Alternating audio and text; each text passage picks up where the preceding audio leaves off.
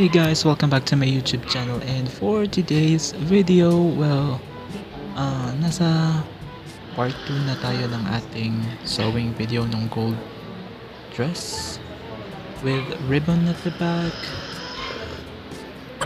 Kape-kape muna tayo. And after that, uh, let me just show you yung ating progress for the lining. Again, that's a crepe fabric which is stretchable. Tapos nakita nyo naman meron siyang uh, boning na.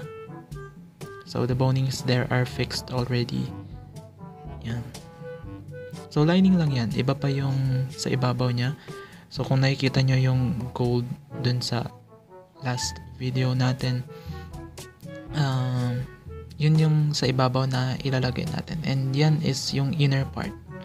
So yan din yung itsura niya sa loob. So which is not clean. Kaya um, After naman, hindi siya magkikita. After ma-finish yung ating tag. So, just for you to see what's inside.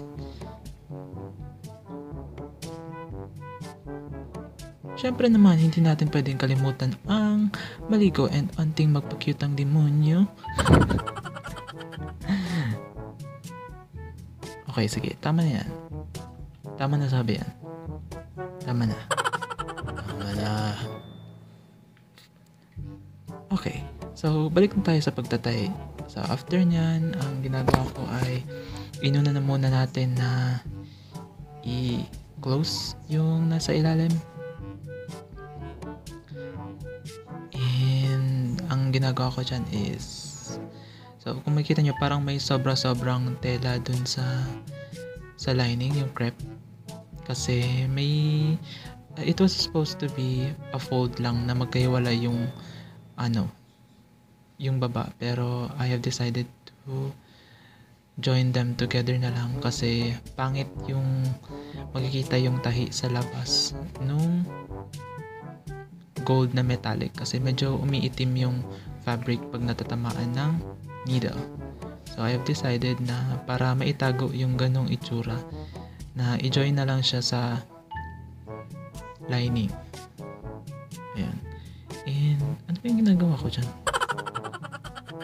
Ano yun? Sorry guys ha, hindi ko naiintindihan kung ano yung ginagawa ko dyan sa part na yan. But, yeah. So, ayan. As uh, ang ginagawa ko din is naglalagay ako ng top stitch para ma-flatten yung um, tinahi natin dun sa ibaba. Yung lining and yung ibabaw na metallic fabric. So next, after naman nung sa baba, i-join na natin yung nasa ta na huh? i-join na natin yung um, lining and yung metallic fabric sa taas dun sa may bust part para matago yung mga tahi niya yung mga seams. Ayan, so para malinis. And also, kung hindi na kasi nakikita dyan sa video, but naglalagay, in, on every curve, uh, maglalagay kayo ng mga slash. Slash ang tawag dun. Para pag binaliktad nyo siya, makikita nyo yung, ano ba, pagkabaliktad nyo, makikita nyo na hindi siya nag-aagawan. Hindi nag-aagawan yung tela and hindi masyadong wrinkled. So, yan yung purpose nung uh, slash. So, sa mga curve, lagi kang maglalagay, lagi kayong maglalagay ng slash. Yan, and that's the lining. That's how it looks like. So, hindi pa siya masyadong maganda kasi hindi pa naman tapos and wala pang buhay yung bust. Wala pa siyang bust cap. So, let's go ahead and continue sa ating pananahe inuna ko lang muna yung front. Then, saka ko tinahi yung side. And after nung side, kasi maglalagay pa tayo ng strap. So, iniiwan natin yung space dun sa may part ng kilikili dun sa side. So, nasa front and back lang yung una kong tinahi na uh, lining and gold gold na tela.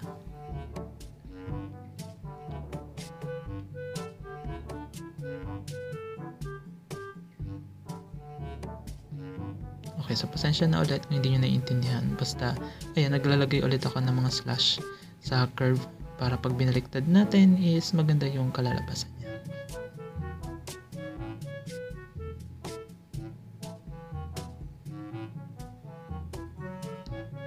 Anyways pala guys, if you know and nakita nyo na meron kayong mistake, huwag kayong makukontento na, ah, okay na to. Hindi pwede kasi it will affect the overall appearance, appearance ng iyong ginagawa. So, ang magiging bagsak niya and final product is pangit. So, kung nakikita nyo ngayon, I'm doing top stitch. Top stitch ang tawag sa kanya, yung I don't know if I got it right, pero yun yung alam kong terminology ever since. So, yung tatahiin mo yung mga allowances sa loob dun sa lining. Yung allowances, itatahi mo siya sa lining, hindi dun sa right side. Hindi dun sa metallic fabric yung nasa labas, kundi dun, dun dapat sa loob. Kasi ang purpose niyan is para hindi bumabaliktad yung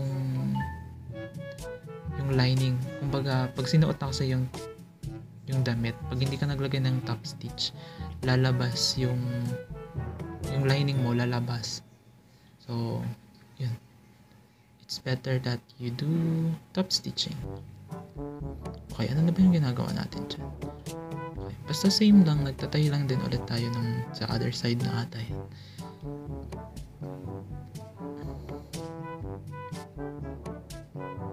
Yan. Yun sa back. Left side ba yan? Or right? I think it's the right. Right side. Oo, right side yan.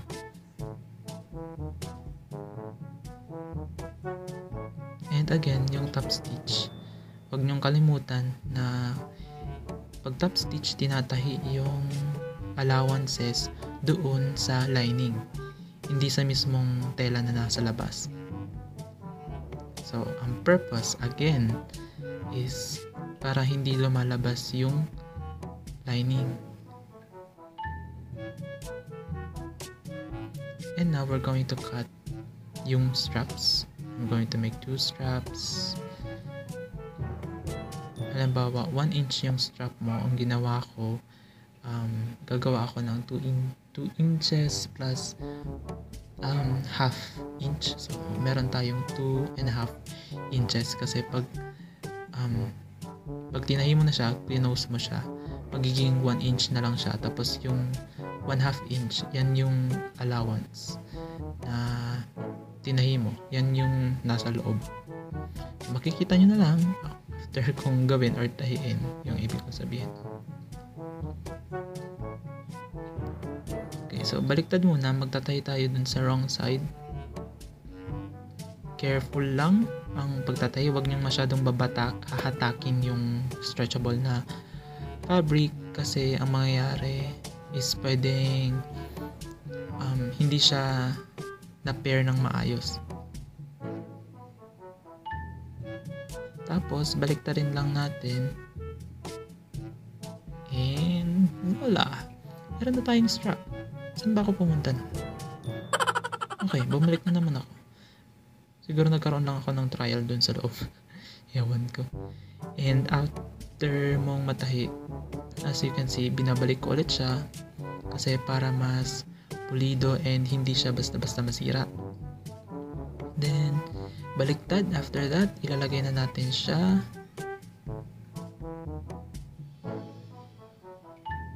Yan. So, naka, pinasok ko lang siya dun sa loob. Tapos, pinalabas ko yung dulo niya dun sa dapat pagkabitan niya ng um, part. Basta, yun na yun. So, dalawa yan. Yung sa likod. Tapos yung sa harap. Tapos yung other side din. Siyempre, secure natin siya with pin and pwede na natin siyang tayin. Diretso dun sa may underarm. And papunta dun sa harap. Tapos, lock. Tapos, dinodoble ko lang ulit siya. Again, ang purpose kung bakit ko pinapabalik yung uh, tahi ng makina is una kasi para mas durable. Number two, para hindi basta-basta matastas yung tahi. Lalong-lalo na pag ang fabric nyo is stretchable, dapat dodoble talaga kayo kasi uh, madalas siyang sumasabog pag stretchable yung fabric. Kasi yung fabric niya is stretchable tapos pag yung uh, thread mo is hindi stretchable, uh, pag nahatak siya, eh, alam na, mapuputol. So, kaya lagi ko siyang nilalagyan ng dobleng tahi. Next. Ayan. Tahi pa rin yan. Yung sa kabilang part naman na yan.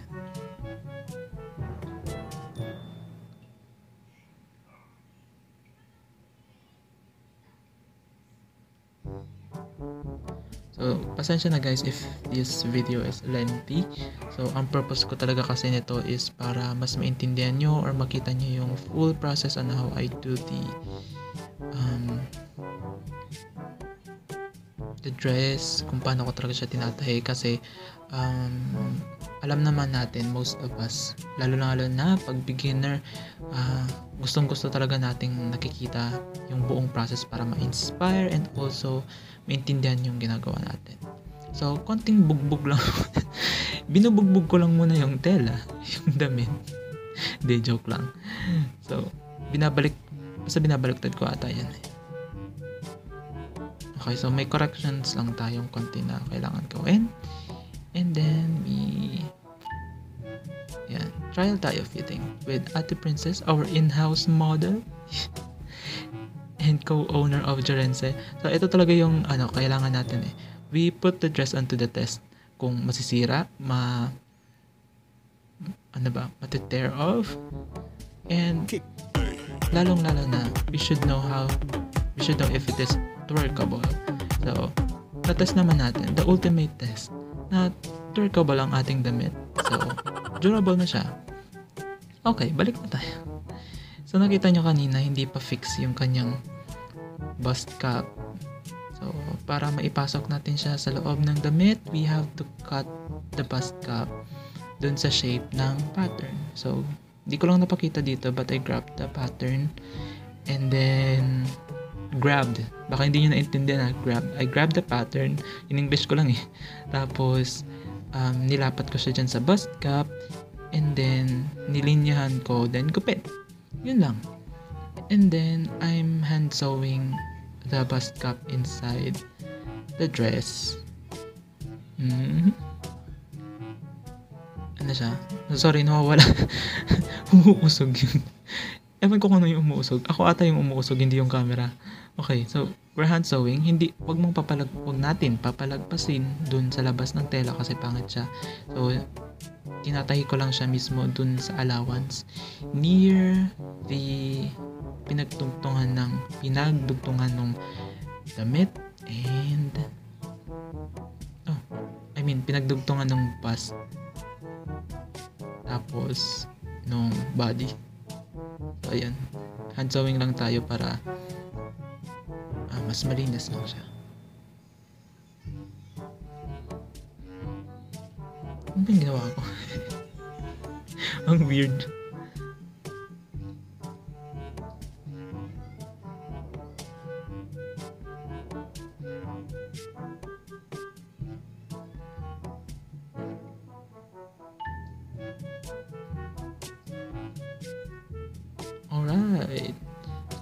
Nyan, syempre babalik rin na natin and titingnan natin kung ano na yung itsura niya of course, always uh, make some checking. And ang nangyari pala dyan is nakita ko, uh, natahi ko ata yung, minatahi ata ako sa harapan kaya inulit ko. Tinastas ko sa, tinastas ko yung pagkakatak ko. Tapos, tinahi ko na naman ulit yung bust cap. So, always uh, go for the quality, wag yung sa quantity. Quantity kumbaga in-speed up mo lang yung paggawa tapos may nakita kang mali hindi mo nakikinorek it's always more satisfying. Siguro, masasabi ko lang, nung una talaga, nung una noon na nagtatahi ako, hindi ako ganun ka, anong tawag doon? OC ba yan? Sa ginagawa ko. Kumbaga, pag may mali, ah, parang wala na akong gagawing correction. But now, I have learned to um, mas naisip ko na dapat mas maganda pa Olive. So, ayan. Initial lang naman yun. May mga bumabakat-bakat, bubuntingin natin yan mamaya. Para mas clean. Okay, so ano na ba yung ginagawa ko dyan? Wait, karoon lang tayo ng recollection ng ating mind. I think yung zipper na yun, invisible zipper. Yeah? No? Yeah? Ah, hindi. So, bago pala ako magtahi ng invisible zipper. So, kung nakaabot ka sa part ng video na ito, you are very lucky para maintindihan mo na bago ka magtahi ng invisible zipper, ang ginagawa ko, naglalagay muna ako ng stay stitch or basta papaandaran ko lang siya ng tahi. Ginawa ko dalawang magkahiwalay na 1/4 inches yung ano, distance niya. That is because stretchable yung tela natin. So, pag stretchable yung tela natin, mahirap siyang kabitan ng invisible zipper. Babanat din yung tela. So, dapat um, maglagay ka ng stitch para hindi siya bumanat. Maglagay ka ng tape para hindi siya bumanat kasi di ba hindi naman nababanat yung thread. So, yan yung ginawa ko. And saka ko pinin yung zipper and tinahi. So, bago mo pala tahiin yung invisible zipper, planchahin mo muna na maging flat and bukas siya para mas madali mo siyang tahiin. Nagets ba? Ulitin ko po. Basta yun, yung technique pag stretchable yung fabric, may it be uh, tulle fabric, yung crepe or yung metallic, meron pa sa ibang mga stretchable na fabric, maglalagay tayo ng stay stitch para pag naglagay ng zipper, hindi bumanat yung tela. Pag bumanat kasi yung tela, um, probably tabingi yung tahi mo, mas mahaba dito sa kabila, mas maikli sa kabila, or pag na-finish na, alon-alon na siya. So, kasi humaba yung tela eh. So, ayun, pinakita ko sa inyo yung likod. Hand sewing na lang yun para i-finish yung likod. Then, after, dito na tayo sa design. So, nagkaroon ng changes sa design si kuya. Ang design dapat is yung kamay yung parang ribbon sa likod is masusuotan ng kamay. But since we want na makagalaw and makapose ng dynamic naman yung model uh, iniba na. Kumbaga, ribbon na lang sa likod, hindi na yung sumusuot sa kamay para mas madali siya makapag-post. Okay, so, then, uh, nagsukat-sukat lang ako kung ano yung size ng ribbon and then, syempre, tayo na tayo. I think, madali lang naman gumawa ng ribbon. Hindi na kailangan ng uh, detailed tutorial. So, makikita nyo na lang yan dito kung paano ko siya ginagawa.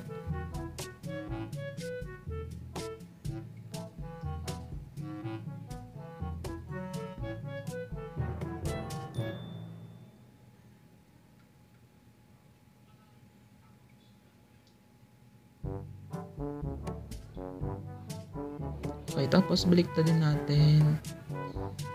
And, ano ba? So, yung nangyari dyan is nagkakaroon lang ako ng trial. Ano ba yung magiging itsura. So, minsan matagal talaga magtahi ng damit ng designs kasi uh, always I'm checking for ano, kung ano ba yung pangit, kung may dapat pa bang ayusin. So, always do a trial kahit na medyo magiging mabagal kasi if you're looking for a quality made product dapat um, or if you are achieve or, or if your goal is a um, quality product magandang pagkakagawa lal, lagi talagang may uh, trial. Gaya ng ginagawa namin where um, testing it sa totoong tao nasusuot hindi lang basta sa mannequin but we're trying it sa yun nga, sa totoong tao kay Ate Princess. Siya yung parang ginipig namin dito, pinagsusuot namin ng mga damit. So, buti nga yung size niya is ka-size niya yung mannequin. Small. So, kasyang-kasya. Then, of course, para mas malinis, um, pinaplansya natin yung seam, yung tahe. Ino-open ko siya tapos pinaplansya ko siya sa gitna para maging flat. And of course, yung buong tela na mismo is paplansyahin na natin.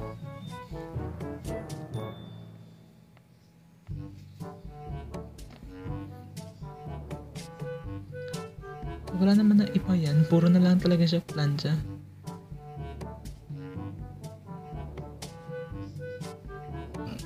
Okay, so after niyan, papasok na natin yung um, horsehair braid para kung hindi nyo pa alam yung ibig sabihin ng horsehair braid, you can search it online. Hindi ko alam kung paano ko i-explain eh. Pero para siyang, ano, hindi siya ganun katigas. Um, parang, kumbaga, binibigyan niya ng body yung tela. Organza yung tela namin dyan. So, hindi siya masyadong, hindi siya tumatayo masyado. Kaya nilagyan namin siya ng horsehair braid para may buhay-buhay naman siya. Mukha siyang, yung magmukha talaga siyang bow na matigas. Pero hindi masyadong matigas.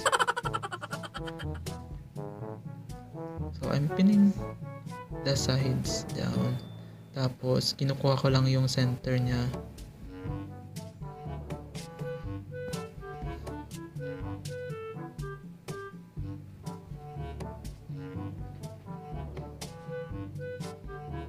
So, after ko makuha yung center niya, punta na ako sa um, ipin ko na siya tapos punta na ako dun sa sewing machine para tahiin yung dalawa.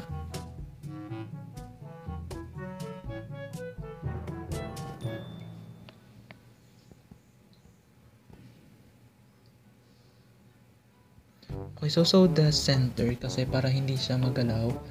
Kasi multiple layer of fabric siya. Kumaga may horsehair, organza, horsehair, organza, horsehair, organza, organza. Uh, parang ganon. Tapos, pina-fold ko na lang siya. Alam niyo yung pag-fold ng parang sa pamaypay. Yung paper folding na pamaypay. Yun yung style na ginawa ko sa kanya. And after niya, nag-hand sewing ako. Kasi hindi na yan kaya ng machine eh. Medyo makapal na din siya.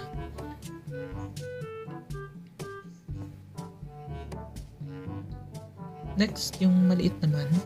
Siyempre, same.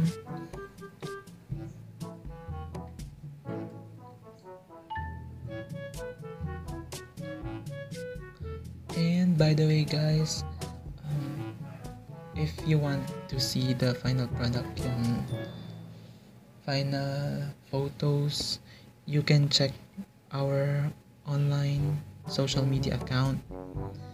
Uh, you can follow. Ilalagay ko na lang dyan. Jerenze Official. Also, follow our social media accounts kay Kuya Joem and kay Ate Princess. And akin din pala, syempre. Ano ba yung tinatahi ko dyan? I think I'm sewing yung ano, yung train. Kasi di ba pag may yung bow, pwede naman mag-design ng bow na walang train. Pero yung bow namin dyan, mahaba yung train. So, nagtatahi ako ng train na sa part na yun. Yung parang dalawang sobra.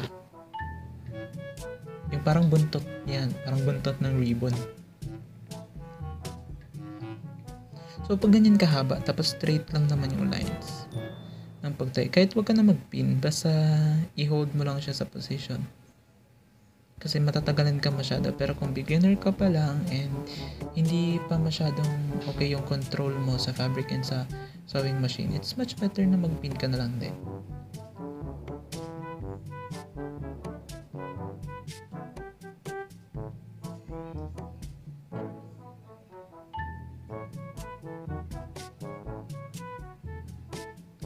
by the way, yung nung nakita nyo pala, di ba isang daanan lang yung ginawa ko sa ano, yan, oh by the way, yan yung sa center, yung parang magjo-join ng dalawang ribbon plus yung buntot ng ribbon. Yan, dinoble ko yung tahi niyan. Pero yung una, yung mahaba, di ba? Yung buntot ng ribbon. Hindi ko na dinoble yung tahi kasi hindi naman siya magre-require ng pag-intact from force against the force. Kasi hindi naman siya kumbaga relax lang siya dun sa likod. Kaya na to. So I'm trying it out on ang I'm trying it out. So I'm trying it on the mannequin na titingnan natin kung ano yung magiging itsura niya. And I think it's it looks satisfying, maganda. So the other day ko na siya tinapos. Kasi marami rin kami ginagawa aside from that. Parang sinasabay ko na dyan yung isa pang damit. Baka sabihin nyo, hindi ako naligo. Uy, naliligo naman ako. Parang hindi na kasi yan yung day to eh. Parang ibang araw na to. Like, another week na to kasi may iba pa kaming ginagawa. So, as you can see there, nasa likod ko si Ate Beth na gagawa nung ano. Merong gown dyan sa likod na may full detailed embroidery. Gaya lang nung ginawa ko dun sa dalawang ribbon. Again, parang fan na paper folding style tapos pin and then tie. Okay, so ngayon, ah, tinatahi ko na yung ribbon, tapos yung yung buntot, yung dalawang ribbon, tapos yung buntot, tapos pinaplansya ko na dito yung yung sa center, yung magjo-join sa kanilang tatlo. Tapos, wrap it around. Tapos yung pagkaka-wrap nyo around, hindi lang basta i-wrap yung yung sa center. Dapat malinis pa rin. So dapat maglagay din tayo ng uh, I mean itago natin yung ano ba yung tawag dun? Yung parang dulo ng fabric na may may nagra-ravel ang alam ko sa tawag doon ravel yung parang mga tas-tas yung naghihiwa-hiwalay na tela, itago natin yung paloob. Tapos, saka tayo mag-tie. Pinapanood na ako dyan na Ate Princess. Excited na kasi si Ate Princess.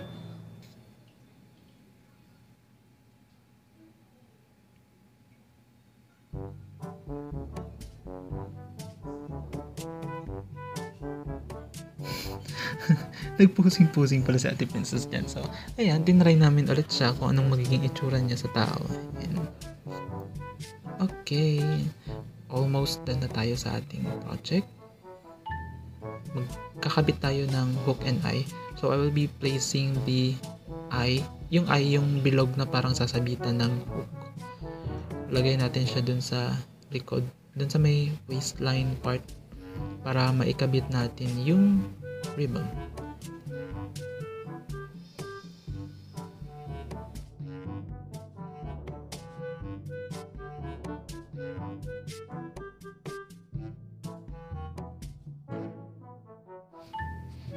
Sunod naman maglalagay tayo ng hook. Hand sewing lang dun sa ribbon mismo. So, tag dalawa siya. Dalawang eye sa likod nung dress mismo tapos dalawang hook dito sa ribbon. Ayan, so we're almost done. Again, don't forget to fashion, fash, to follow our social media accounts. And uh, thank you so much guys for watching and supporting my channel. I hope to see you again on my next video and we will be doing more.